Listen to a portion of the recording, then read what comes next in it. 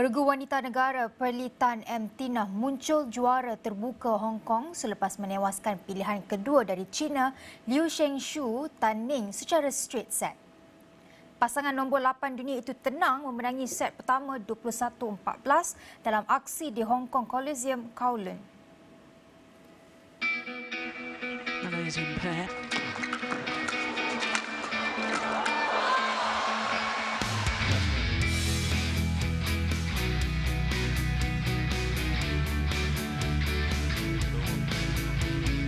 Pearly dan Tina meneruskan momentum positif meninggalkan pasangan regu lawan yang menghuni ranking ketiga dunia itu 2010 sebelum mengesahkan kemenangan 21-14 dalam kejohanan berstatus Super 500 tersebut.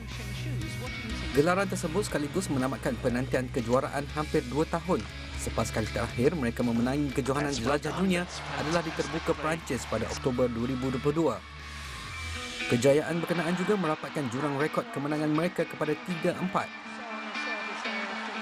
陈康乐 Tina 马来西亚 Pearly Tan Tina Morali History makers Malaysia Pearly Tan and Tina Morales run